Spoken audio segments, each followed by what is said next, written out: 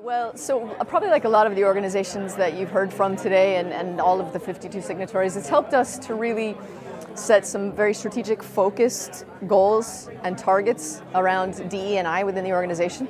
Um, we're a very values driven company, so um, the Elevate Pledge really aligns really well with our values and our ethos as an organization.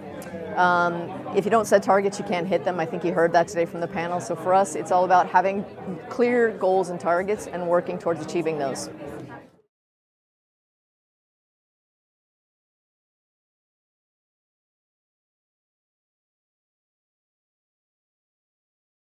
So for us, gender parity is always a critical focus within our organization. We, we're in the auto industry, we're a car rental industry.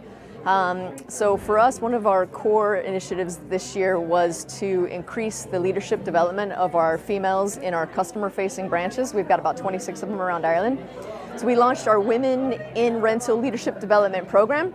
Um, we just concluded it. It was approximately 12 months, and I'm delighted to say that we have gone from 19% females in management to 36% females in management in our in our in our rental locations around Ireland. So I, it was a success for us, really.